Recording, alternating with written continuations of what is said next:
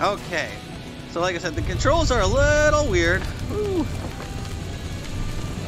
I can control it pretty good. Now I must also note that you should probably start a file on a flat screen first so you can get through the intro and all this stuff. So you can actually just jump into a VR game. Go right. Oh yeah. Woo.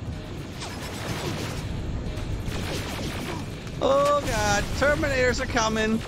Run!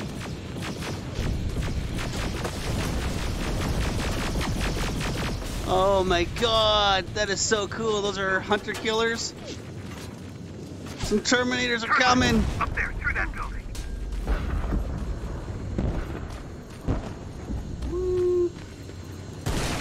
Whoa! Something crashed.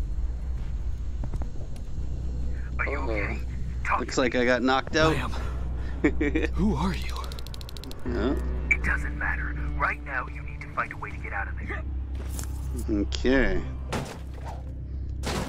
There we go. The height's off a little bit. I'm really tall. Almost gotta like get on my knees or something.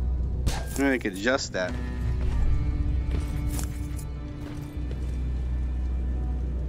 I can just pretend I'm a really tall guy.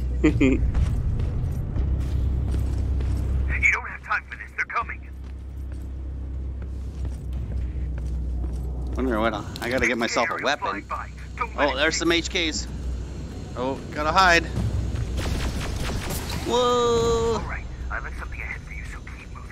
Oh, hope it's a gun. I gotta shoot some Terminators.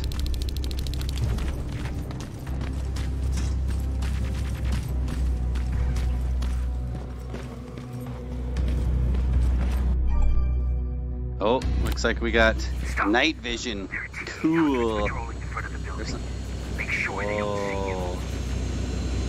This is really cool. You know, I bet with a little bit extra more work, this would be even better in VR. like, you can fix the controls up a little bit. Gun in there. Pick it up. Oh, a gun. Next, there's a vent hidden behind a picture. It will lead you out of there. There's a. Oh. No.